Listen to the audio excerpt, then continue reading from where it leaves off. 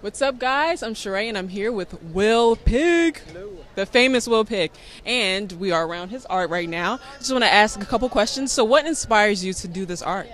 Um, well, I'm a geek like everybody else.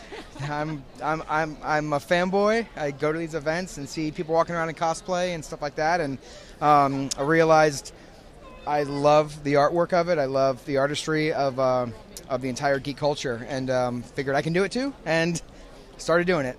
Sweet. So, when did you start getting into it? Um, well, I've been drawing my whole life. I went to um, I went to college for illustration.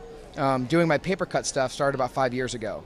Um, I was working at uh, I was working on illustrations for MegaCon down in Orlando, and I ran out of uh, charcoal and pastel that night at three o'clock in the morning, and I was like, oh crap, you know, I can't do any pieces. And right next to me was an exacto knife, and because I had been recently cutting mats, and um, I was like, oh, I still feel like drawing, so I actually took the exacto knife and um, hand cut a bee out out of uh, black paper next to me, and it looked fantastic. And I was like, I love this thing. And then um, that was it. I just started doing the paper cutting and mixing it in with my illustrations.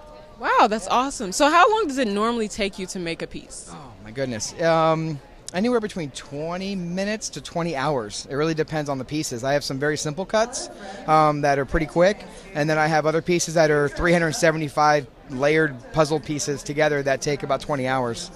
Wow, that's awesome. So, where can we find your work? Where, which should we go to? What site? Yep, you can go to willpigg.com, W I L L P I G G.com, and uh, I have a bunch of stuff up on there, and um, I have everything up on my Etsy store as well, which you can link all through that.